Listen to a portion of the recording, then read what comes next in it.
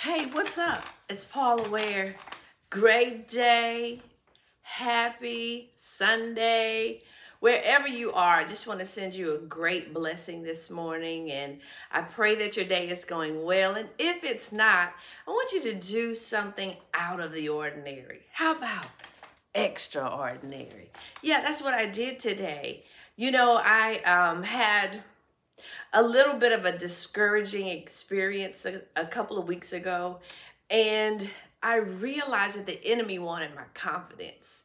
Now, it might surprise some of you because I'm very vocal and I am pretty present often. But the truth of the matter is, I lost my confidence in myself. This is not arrogance that I'm talking about. I'm talking about courageousness.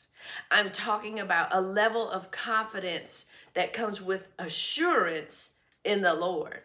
Now, for some, that may look a certain way on the outside, right? We can all mask how we feel on the inside. That's easy to do. But expressing how you feel on the inside when it's joyful, it may look a little bright.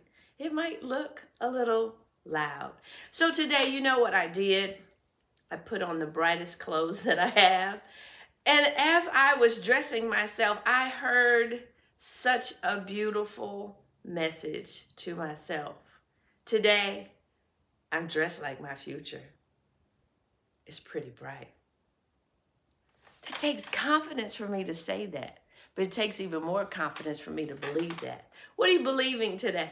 If you're not believing in yourself, yourself that's connected to your purpose in God, yourself that's connected to power, dominion, authority in Jesus Christ. If you're not confident in who you are, it's likely the enemy has had reign in your life. Yeah, it's true. I'm speaking because I know it for myself. I'm not coming to you from a place I don't know about. I'm coming to you from a place where I have made a decision I'm coming out of those cycles of depression. I'm coming out of those cycles of lack. I'm coming out of those cycles when people could say things to me and my feelings were hurt and I'd crumble immediately. I'm coming out of a place where darkness tried to take my light. Yeah, we all have a light on the inside of us. If you've accepted Christ as your Lord and Savior, you're now a new creation in Christ. It should look differently. It should sound differently.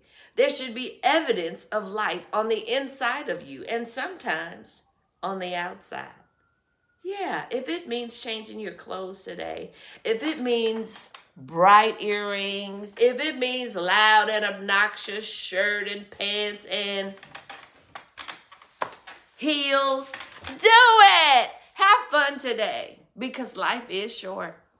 The last thing I'd like to see for you is for you to carry on in life, not living to the fullest of your capacity, not living life joyfully. Because remember, the truth of the matter is this the joy of the Lord is our strength.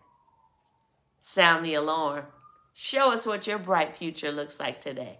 Come on, let's have fun with it.